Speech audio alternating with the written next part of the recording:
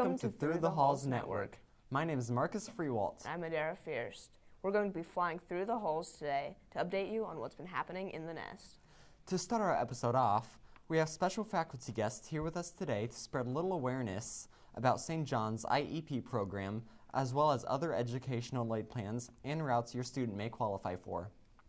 Also, be ready for DSJ fun facts that you'll only hear on our channel. Let's, get, right, into it. St. John's provides individual education plans for K 12 students who need customized learning plans. Along with that, we have a Child's First team where parents and faculty work together to develop intervention strategies that work best for your child. Our reporter, Chloe Etzkorn, is here today with K through 6 intervention specialist Jamie Elwer and 7 through 12 intervention specialist Amy Bittner to provide us with a deeper insight into these various educational plans. Take it away, Chloe.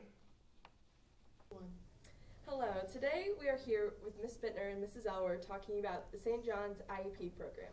Thank you so much for coming on with us today. You're welcome. You're welcome. Good morning. Before we dive into each part deeper, can we have a brief summary of what exactly is the St. John's IEP program? So I'll start with that question. Um, the IEP program is the individual education plan, and we write those for students that qualify um, based on a multi-factored evaluation, and they have to have a specific type of disability, and then we write that plan um, to help them with their instruction at school. Thank you. Uh, mm-hmm. now that we have an overview, let's get into the specifics. What is the Child First Team? You want to do that one? Sure, I'll go ahead and answer that one.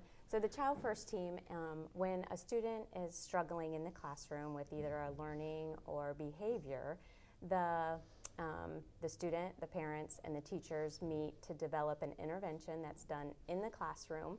Um, it's an intervention that lasts six to eight weeks, and the hope is that um, they make progress in what area, whatever area they're struggling in. And if the intervention works, then we continue it. And if it doesn't work, then we look at, we meet again, the team meets again, and then we come up with a new intervention. All right, it is great that we have whole teams of people working together for student success. So, what exactly are IMAPs and IEPs, and how are they different from each other? Okay, so the IEP, um, you have to have like we said, there's specific disabilities. There's 13 categories that you can qualify for an IEP. Um, in order to be on an IEP, it has to impact your you at school, your education. So you need specially designed instruction um, to be able to access the general curriculum.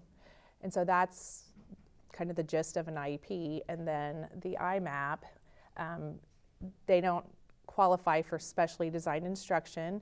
Um, we do more of accommodations in the classroom, so they can they can still learn in the regular classroom, but they just need some accommodations like maybe test read aloud or you know preferential seating.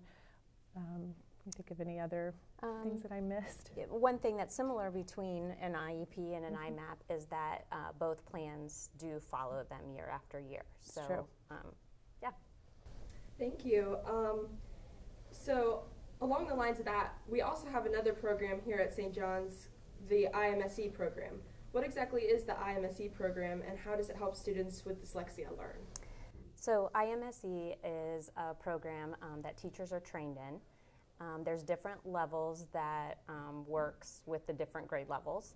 Currently, we have about 10 teachers that are trained.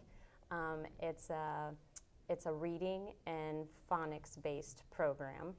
Um, and let's see, can you think I'm? It's multisensory, yes. which makes it different than just the general education instruction, yes. or not general education, but than the traditional reading instruction.